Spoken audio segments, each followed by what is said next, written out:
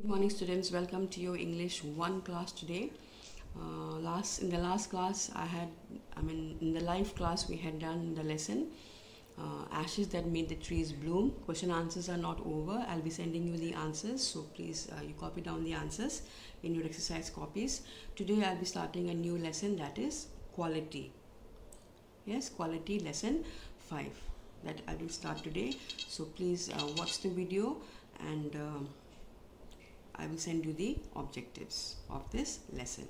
Objectives are as usually know to read the text to understand, to identify new words, to understand in this in this lesson especially it is to understand what skill is and how a person loves what he does. A person who, who a person who loves his work.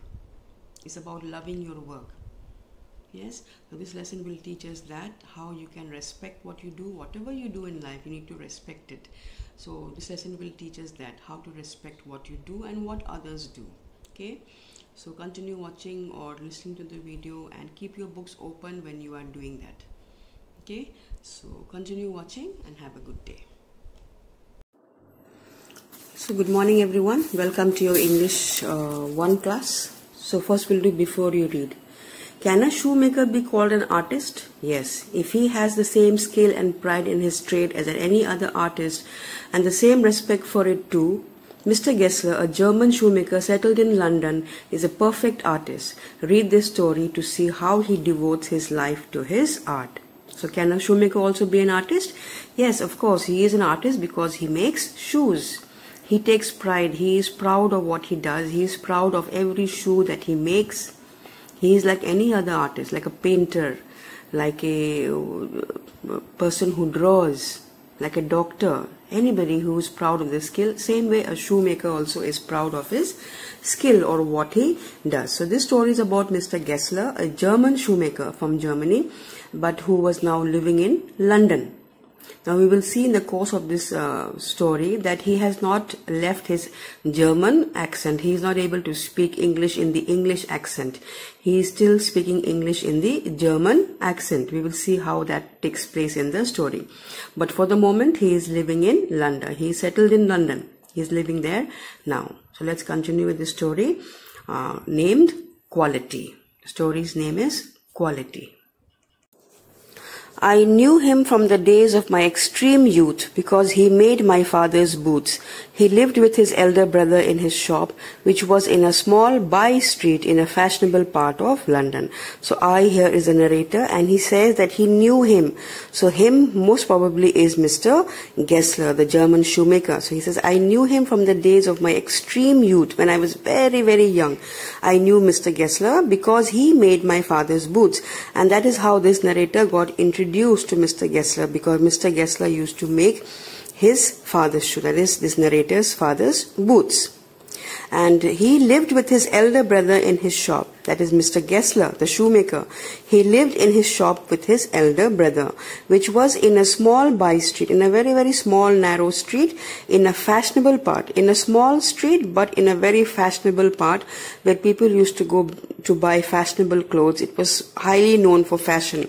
So in this particular part of London, Mr. Gessler had his shoe shop in a small by street. Not main road means, it does not mean main road, it means a by street, like a gully. So Mr. Gessler had his shoe shop here. The shop had a certain quiet distinction. Something was very, very unique about this shop. There were there was no sign upon it other than the name of Gessler Brothers. There was no sign on the shop as you enter each shop, you have names, isn't it, given on the shops. But this particular shop had no name, just the name Gessler Brothers, and nothing else was mentioned in the at the entrance of the shop. And in the window, a few pairs of boots.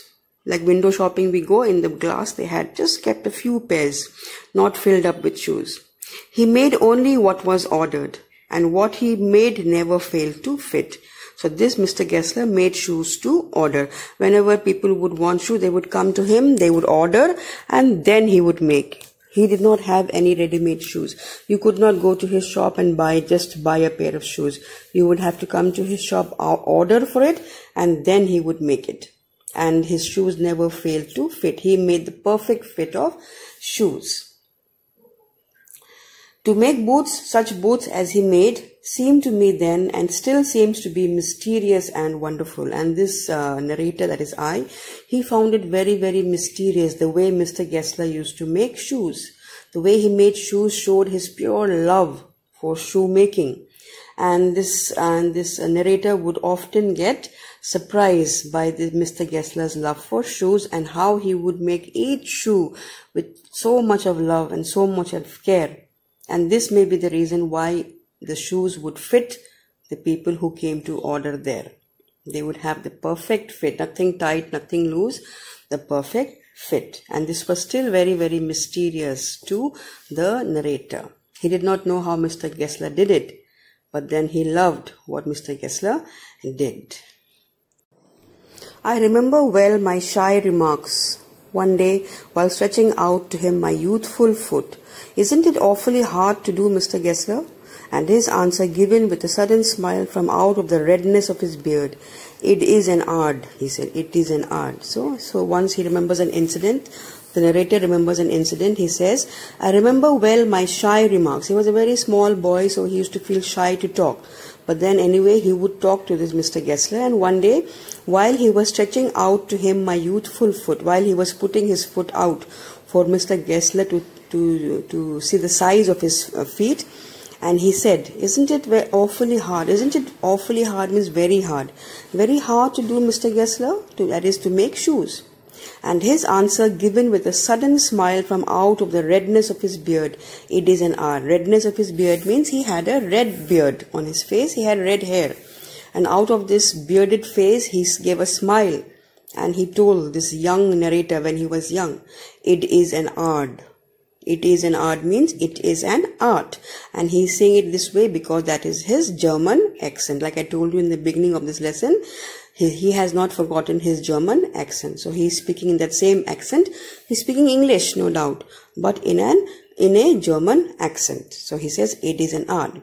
It was not possible to go to him very often. Very often they could not go. They could not go to him every month to buy shoes. His boots lasted terribly, terribly in the sense here it lasted very, very long. Nowadays, if you go and buy shoes within one month, something is, something gets torn, something gets broken, or the heel comes off or something like that. But his shoes lasted terribly, that means for terribly long. They would never finish. It was like that. That my, that's why he says lasted terribly long. Having something beyond the temporary. Let us continue. So his shoes lasted terribly long, having something beyond the temporary, some essence of boots stitch some essence of boots stitched into them. So they were not temporary they were quite permanent yes? And they were like boots how like how boots used should be. Boots should be lasting long lasting so this is how he used to make them. One went in not as into most shops but restfully as one enters a church and sitting on the single wooden chair waited so one would not just go in very roughly. One would enter the Gessler Brothers shop just it seemed like one was entering a temple or a church very, very solemnly, very quietly, very calmly.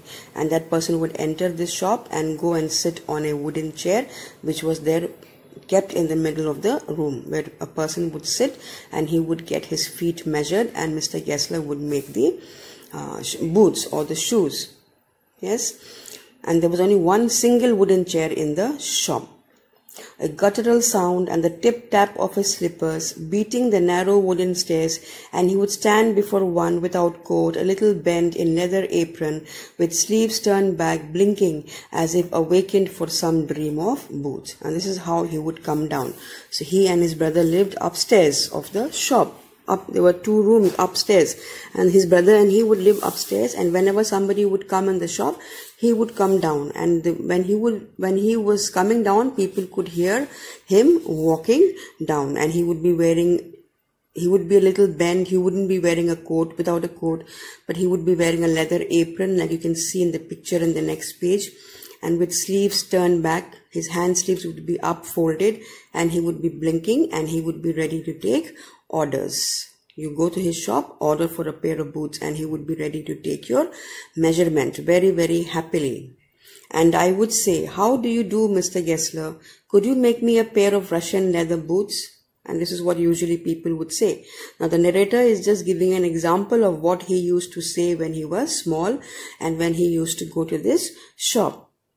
And for this particular moment, he's saying or he's telling Mr. Gessler to make him a Russian, to make him a pair of Russian leather boots made out of Russian leather. Without a word, he would leave me retiring whence he came. Whence he came means from where he came. He came from upstairs, so he would go back upstairs without saying a word. He was a man of very, very few words. He knew exactly what to do. He was not a very talkative man. He would listen to you, listen to what you wanted, and then he would go upstairs or into the other portion of the shop. There were two portions, maybe his workplace where he met people was different and where he would work was different, where he would sleep was different. And he also had a room upstairs, like I told you. So maybe he would go back there. If he came from there, he would go back there. Whence he came from wherever he came, he would go back there after taking your orders, after listening to what you exactly wanted. Okay. So Mr. Gessler would go back to from where he came or into the other portion of the shop and I would continue to rest in the wooden chair inhaling the incense of his trade like you can see in the picture there he would sit in the chair and he would uh, inhale. Inhale means breathe in the incense of his trade the smell of the leather the smell of the shoes. It is sometimes uh, some people feel very nice with the smell of leather. Some people like the smell of petrol. Some people like the smell of leather. So he would love this incense or the smell of the shop Soon he would come back holding in his hand a piece of gold, gold brown leather. This was the usual thing what Mr. Gessler did. Anybody who went to his shop would find the same procedure. He would listen to what you wanted, he would go back, he would come back with a piece of leather and show you what you wanted for your choice. So soon he would come back holding in his hand a piece of gold brown leather. With eyes fixed on it, he would remark, What a beautiful piece!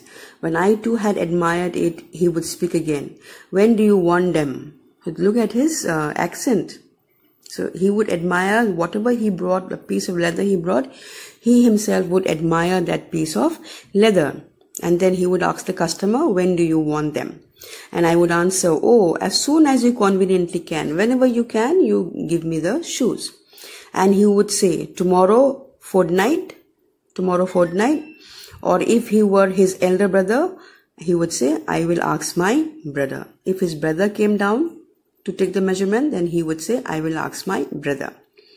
So this is a brother. Look at the spelling of brother. B-R-U-D-D-E-R. Brother means brother in that German accent. Okay. So I hope it is clear so far.